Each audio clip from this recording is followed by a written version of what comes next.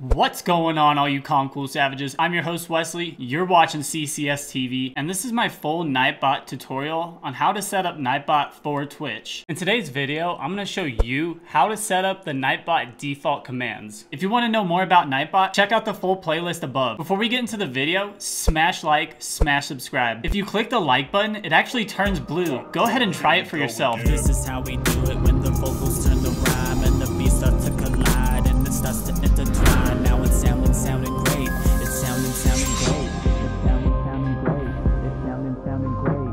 if you're wondering what Nightbot is, basically it's a chatbot for Twitch and YouTube that allows you to automate your live streams chat with moderation and new features allowing you to spend more time entertaining your viewers. So it's a great way to make your stream more interactive. So to set up your Nightbot default commands, what you're gonna wanna do is log into Nightbot. If you're not sure how to connect your Nightbot to Twitch, I made a full Nightbot tutorial. Go ahead and check out the playlist above. So to set up your default commands for your Twitch stream, go over to the left side drop down menu and click on commands. You're gonna wanna click on default. There's also a way to make custom commands, but I will cover that in the next video. Here on the default commands page, if you look over to the right side, it has docs, disable, and options. Docs tells you all the information you need to know about the command. Disable allows you to enable or disable the command on your stream. And when you go to options, it gives you the option to allow the command for everyone, subscribers, regulars, VIPs, moderators, or just the owner. You can also set a cooldown time if people use the command way too much. When going over the Nightbot default commands, you have the exclamation mark commands command that allows you to get the list of all the commands. You have an exclamation mark commercial command that runs a commercial slash ad on your stream, if you're an affiliate that is. You have the command exclamation mark filters that allows moderators to manage spam filters within the chat. Exclamation mark game that shows the stream's current game and allows moderators to modify it. Exclamation mark marker, create a stream marker in your Twitch channel to easily return to later. This is very helpful if you're trying to get clips or content on YouTube. It will mark the spots in your stream that you want to take the content from. You have exclamation mark poll, allows you to make polls on your stream. This is very helpful when trying to choose what game to play or what to do on your stream. At the very bottom of the defaults command list, we have exclamation mark regulars,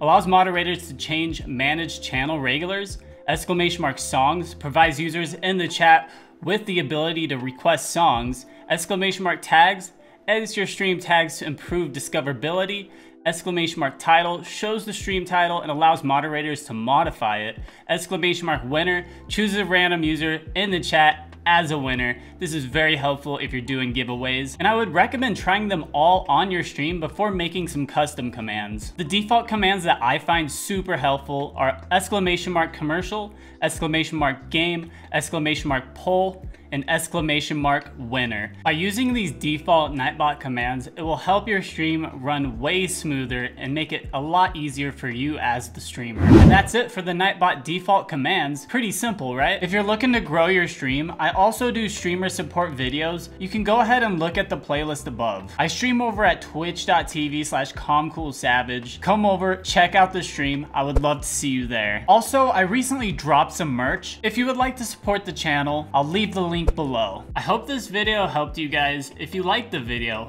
hit up the like button. If you like the content on the channel, punch out the sub button. Thank you guys so much for tuning in. Keep it calm, keep it cool, keep it savage.